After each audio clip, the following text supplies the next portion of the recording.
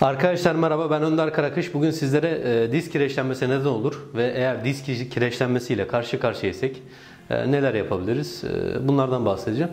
Öncelikli olarak amacımız ne insanlara teşhis koymak internet üzerinden ne de e, kişilere tedavi uygulamak.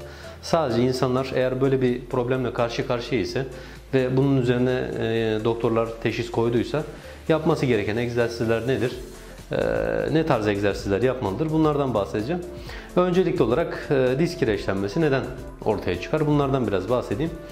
Yaşın ilerlemesiyle ne oluyor arkadaşlar? Vücut artık e, belli tahribatlar başlıyor. Bunlarda işte kemik tahribatlarının olması, e, diz bölgesine sürekli yük binmesi, o bölgedeki eklem sıvılarının azalması, kişinin normalden fazla da kilosu olması ne oluyor? Zamanla o bölgeyi e, tahrip ediyor arkadaşlar.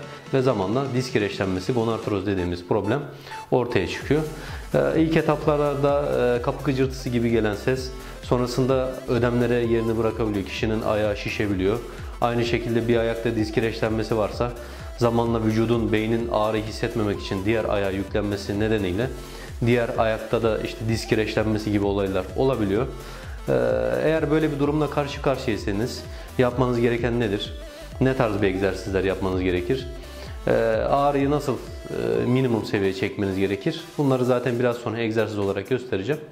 Onun öncesinde e, işte e, diz kireçlenmesi dediğimiz olay nedir? Bayanlarda en fazla bayanlarda görülüyor arkadaşlar. Yani artık bayanların kemik yapısının erkeklere göre daha güçsüz olması, fazla kilolarının olması, bazı bayanların işte hareketsiz kalması, bazılarının işte çok fazla hareketli olması, e, düzgün ayak yapılarının olmaması ve düzgün ayakkabılar giyilmemesi. Yani sürekli topuklu ayakkabıların giyilmesi, merkez ağırlığının işte de eşit bir şekilde dağılmaması, ayaklara dağılmaması ve e, dediğim gibi işte fazla kiloların olması o bölgedeki işte e, diz bölgesinde ciddi tahribatlara, o bölgede işte kireçlenmelere ardından kasların kasılmasına ve kısalmasına sebep oluyor arkadaşlar.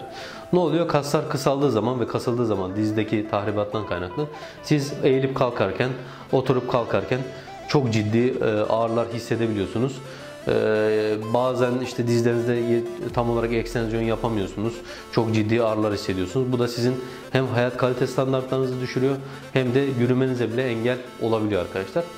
Bundan kaynaklı ne yapıyoruz? Ee, bu sorunu çözmek adına e, düzgün ayakkabı seçimi yapmamız gerekiyor. Yani rahat ayakkabıları giymemiz gerekiyor. Dizimize eşit miktarda ağırlık yükleyecek ayakkabıları tercih etmemiz gerekiyor. Bunun dışında eğer fazla kilolarımız varsa bu fazla kilolardan e, kurtulmamız gerekiyor. Eğer e, dizimizde ödem varsa o bölgeye işte soğuk e, uygulamalar yapmamız gerekiyor o ödemi alması adına. Ve e, dizimizi o bölgedeki kas yapısını güçlendirip dizimizi hareket ettirmemiz gerekiyor.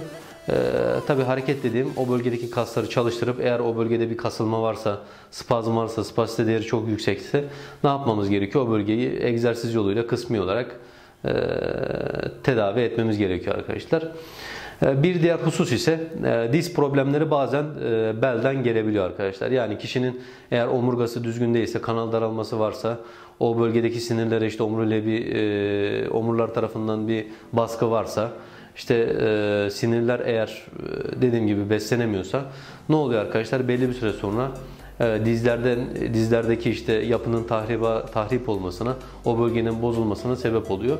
Yani genelde baktığınız zaman işte kişinin kalçada eşitsizlikleri varsa, belde fıtığı varsa ya da boyunda fıtığı varsa e, bu yapının zamanla işte bunun zamanla bu sorunun zamanla dizlerin tahribat e, tahrip olmasına sebep oluyor. Yani o bölgedeki yapının bozulmasına sebep oluyor.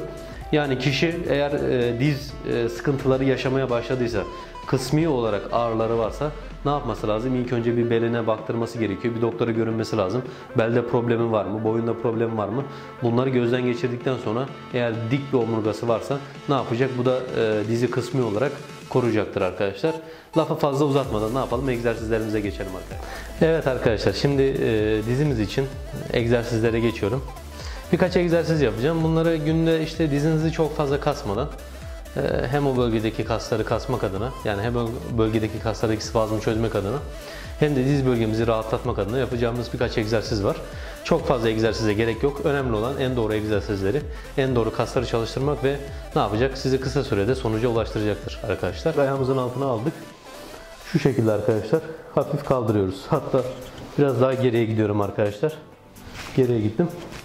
Ne yaptık arkadaşlar? Hafif kaldırıyoruz ve bıraktık. Hafif kaldırdık ve bıraktık arkadaşlar. Tekrardan arkadaşlar kaldırıyoruz ve bıraktık. Şimdi arkadaşlar ne yapacağız? Ee, ayağımızı hafif kaldırdıktan sonra ileri ve geri yapacağız. Ayağımızı ne yapıyoruz? İki ayağımız için de yapabiliriz bunu. Kaldırdık aynı anda bıraktık. Kaldırdık ve bıraktık. Kaldırdık ve bıraktık. Burada hem kan sirkülasyonu olması açısından hem de kasları kısmi olarak çalıştırmak adına yapabileceğimiz e, güzel egzersizlerden bir tanesi. İleri ve geri yaptık, ileri ve geri yaptık, ileri ve geri yaptık, ileri ve geri yaptık. Sonrasında arkadaşlar sıkıntılı olan ayağımızı ne yaptık? Kaldırdık. Şu e, baş parmağımızı gördüğünüz gibi kısmi olarak kendimize çekiyoruz. Çektik, çektik, çektik ve ne yaptık arkadaşlar? Bıraktık. Ne yaptık arkadaşlar? O bölgede e, gastro kas grubunu ve hamstring kas grubunu kısmi olarak kasmış olduk arkadaşlar. Eğer o bölgede bir kasılma varsa ne oldu? Kısmı olarak açılmış oluyor arkadaşlar. Ne yapıyoruz? Tekrardan arkadaşlar ayağımızı kaldırdık. Kendimize göre kısmi olarak çektik, çektik, çektik, çektik ve bıraktık. Tabii çok fazla dizimizde zorlamıyoruz. Bu da önemli. Çok fazla dizimizi zorladığımız zaman tahribat daha ileri seviyelerde gidebilir. Ondan dolayı dikkatli bir şekilde yapıyoruz. Ardından tekrar ayağımızı kaldırdık. Kısmi olarak geriye çektik ve bıraktık. Tekrar kaldırıyoruz. Kısmi olarak geriye çektik ve bıraktık. Tabii siz bileklerinizi arkadaşlar ne yapabilirsiniz? E, ağırlık da koyabilirsiniz. O bölgedeki kasları güçlendirme adına e, yapabileceğimiz güzel egzersizlerden bir tanesi. Aynı şekilde ben altındaki e, şeyi aldıktan sonra topla devam edeceğim arkadaşlar. Gördüğünüz gibi sarı bir top. Sıkıntılı olan dizimin altına koydum. Hem kısmi olarak aşağıya doğru bastıracağım hem de yine aynı şekilde stretching yapacağım arkadaşlar. Yine gördüğünüz üzere sıkıntılı olan ayağımla aynı şekilde devam ediyorum arkadaşlar. Bıraktım. Tekrar kaldırıyorum. Bıraktım. Tekrar kaldırıyorum. Kısmi olarak aşağı bastırıyorum arkadaşlar. Dizimle birlikte. Bastırdım, bastırdım, bastırdım ve bıraktım arkadaşlar. Tekrar kaldırdım ayağımı. Kısmi olarak ayağımı kendime doğru çektim ve aşağı doğru bastırıyorum arkadaşlar. Bastırdım, bastırdım, bastırdım ve bıraktım. Tekrar kaldırdım. Kendime doğru çektim. Kısmi olarak aşağı bastırdım, bastırdım, bastırdım ve bıraktım arkadaşlar. Aynı şekilde diğer ayağımı da yapabilirim. Ee, yine ayaklarımı kendime doğru çektim. Ee, dizlerimin arasına açtım ve topu dizlerimin arasına koyuyorum arkadaşlar. Ne yaptım? Kısmı olarak bastırdım, bastırdım, bastırdım içeriye doğru ve bıraktım. Tekrar ne yapıyorum? Ee, içeriye doğru bastırdım, bastırdım, bastırdım ve bıraktım. Tekrar içeriye doğru bastırdım, bastırdım, bastırdım ve bıraktım arkadaşlar. Bu da yapabileceğimiz diğer egzersizlerden bir tanesi. Onun dışında e, patela bölgesini yani e, diz kapağının olduğu bölgeyi şu şekilde parmaklarımla ne yapıyorum? Çift taraflı tutarak sağ ve sol yapıyorum arkadaşlar. Yani tabi onu yapmadan önce ayağımın altına bu desteği koymayı unutmuyorum. Oturuyor vaziyette varsayın. Şu şekilde ne yapıyorum? Patelayı şu şekilde dört, e, dört parmağımla işaret ve baş parmağımla patelayı aşağıdan ve yukarıdan tutuyorum. Sağ ve sola yapıyorum. Sağ ve sola yapıyorum. Patelayı kısmı olarak, kısmı olarak hareket ettiriyorum ve bu da e, dizinizi ciddi anlamda rahatlatacaktır. O bölgede herhangi bir e, problem varsa palpasyon yoluyla kısmi olarak rahat edecektir arkadaşlar. Arkadaşlar şimdi ne yaptım? Yine dizimin altına destek amaçlı aldım. E, dizim biraz hafif kıvrık duruyor. E, şimdi ne yapıyorum arkadaşlar? Kısmi olarak kemer yoluyla siz evde kemer varsa, havlu varsa yapabilirsiniz. Ne yapıyorum? Kısmi olarak ne yapıyorum? Kemeri kendime doğru çekiyorum. Ve dizimin arkasındaki kasların kasıldığını ve kısmi olarak yandığını hissediyorum arkadaşlar. Bu önemli. Hem yanacak o bölgedeki hem streç yapmış olacaksınız. Eğer o bölgede bir kasılma gerilme varsa ne yapacak? Yavaş yavaş kendini rahat bırakmaya başlayacak. Hem de diz bölgenizi bu şekilde çalıştırmış olacaksınız arkadaşlar. Tekrar bıraktım. Biraz daha kemeri yukarıdan alabilirsiniz. Tekrar arkadaşlar ne yaptım? Kendime doğru çektim. Dizime ekstensiyon modunda kısmi olarak streç yaptım kendi e, şeyimle. Ardından arkadaşlar bunu bu şekilde yaptıktan sonra birkaç tekrar yapabilirsiniz. 5 tekrar yapalım. En ideali odur. Ardından kısmi olarak ne yaptım? Kendime kısmi olarak e, şey oldu geri çekiyorum. E, kemeri geri çekiyorum ve ayağımı ileriye doğru ittiriyorum arkadaşlar ve bıraktım. İttiriyorum ve bıraktım. İttiriyorum ve bıraktım arkadaşlar. Tekrar ittiriyorum ve bıraktım. Tekrar ittiriyorum ve bıraktım arkadaşlar. Tekrar ittiriyorum ve bıraktım. Tekrar ittiriyorum ve bıraktım arkadaşlar. Tekrar ittiriyorum ve bıraktım. Ardından yapabileceğimiz diğer bir egzersiz ise Ne yapacağız? Yatıyoruz, yatıyoruz. Ayaklarımız kıvrık. Kısmi olarak rahatlatma adına biraz sallıyoruz arkadaşlar. İçeriye ve dışarıya doğru. Ardından ne yapıyoruz? Ayağımızı kısmi olarak şu şekilde kendimize doğru çekiyoruz arkadaşlar. Kendimize oraya doğru çekiyoruz. Çektik kendimize doğru. Kısmi olarak ayağımızı kaldırdık.